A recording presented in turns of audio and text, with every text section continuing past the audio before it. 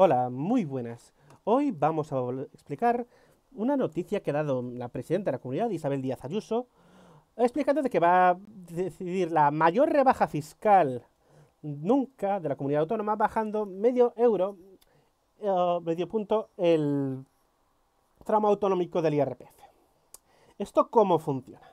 Hay, en el IRPF hay unos tramos que van a las comunidades autónomas y una parte que va al Estado. Y en teoría esto va a calcularse así. Asumimos que eres pobre de pedir y bueno, llegas a fin de mes. Dejámoslo. Eh, mil pavos al mes. Muy bien. Por 0,005. Vamos a calcularlo. Por, a ver, 1000 por 0,005. Tú te ahorras 5 euros al mes. ¿Vale? 5 euros al mes. Pero, esto es una rebaja para todos los tramos fiscales. Supongamos que alguien rico que gane 20.000 al mes, que debido a los planes de dumping fiscal que ha hecho la Comunidad Autónoma de Madrid, los hay, vamos a multiplicar por 0,005. Esto lo damos aquí porque esto para que sea más gráfico. Si cogemos a alguien que cobra 20.000 pavos por 0,005, se les cuestan 100 pavos al mes. Significa que tú tienes, pues, para, pa- para salir una vez al mes va a salvar. Al mes. Este eres tú. A ver, no sé dibujar manos y soy pixel artist, claro que sí. Este eres tú. Este, el que se ahorra 100 pavos al mes, no eres tú. Porque hay más gente cobrando esto que más gente cobrando esto. Pero esto es fiscalidad. ¿Esto cómo lo va a hacer? Bueno, pues tú- yo cuando pago algo, algo, pues, esto, imagina que estos son monedas. No dibujo bien. ¿Por qué me han metido al arte? No lo sé. Esto va a Españita. Españita con sus cosas, sus pilares de Hércules y su odio a Portugal y los franceses. Y aquí está Andorra, que es donde se van los ricos que tienen mucho dinero para pagar menos. Esto va aquí, ¿vale?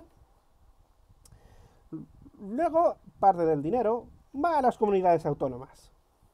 Así que vamos a seleccionar, vamos a ver, este dinero ahora lo tiene Españita. Muy bien. Ahora co- coge, pues mira, es- eres maldita, te toca, to- toca esta parte del esta parte del dinero. Y esto lo tienes que gastar en tus competencias: sanidad, educación, carreteras, ah, ah, conservación del medio ambiente, lo normal. Ocurre que estas bonificaciones se pagan me- me- mediante pagos de la parte que le corresponde a las comunidades autónomas. Es decir, que si cogemos las, que, todas estas monedas les corresponden a Madrid, porque es lo que le toca, este eres, este eres tú, que no llega a fin de mes. Es, pues a ti te va a tocar una, mon- una moneda. Como mucho. Es- ocurre que, que al rico le van a tocar pues 20 veces lo que cobras tú, porque esto es una rebaja para todos. A ver, aquí. Este, al rico que encima tiene sombrero de copa, que, que- paga según lo alto que sea, que encima tiene un sombrero de copa sobre el sombrero de copa, recibe más dinero tú. Y este dinero, que antes iba a sanidad, eh, a ver cómo dibujo la sanidad, eh, un termómetro, Y ya está. Que antes era- o que, que iba a educación, a un, un lápiz. Y esto es un lápiz. Y a libros de texto, porque se pagan libros de texto. Eh, aquí tenéis el símbolo de educación. Este dinero que antes iba aquí, ahora ya no va aquí. Ahora va. A ti te dan las migajas.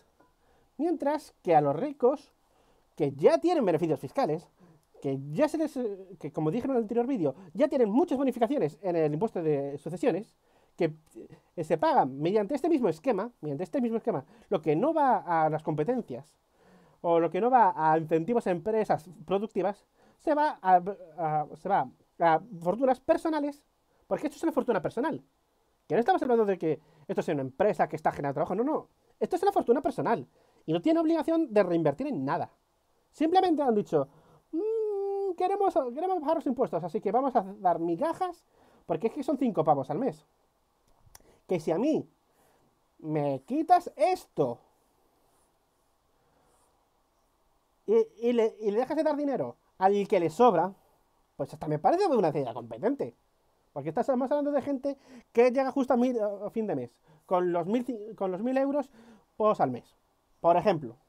Pero si tú le estás diciendo que la rebaja va a ser la misma, para que no le llegue nada, que para el que le sobra otros meses, eh, lo que estás haciendo es perpetuar las inequidades económicas. Estás perpetuando que el que sea rico siga teniendo más y que a ti no te saquen de pobre.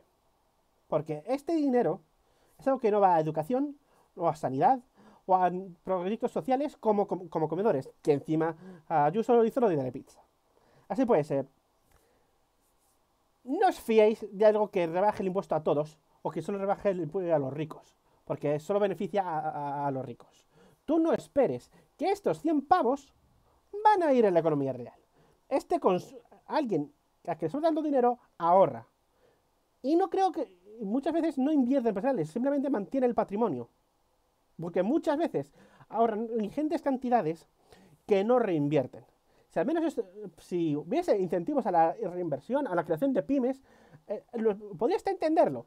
Pero no hay, pero esos beneficios no son tales la única ley que sacó Ayuso en toda la pandemia, desde que salió elegida, es una para liberalización económica, que no me puede parecer mal, pero es que es la única que ha aprobado. recordamos que, este, que, este, tío, con los 100 euros más al mes, se compra un tercer sombrero. Más feo para el sombrero sobre el sombrero. Así pues, eh, esto es una rebaja económica, esto es redistribución del dinero a los ricos. Una vez más. Allá muy buenas.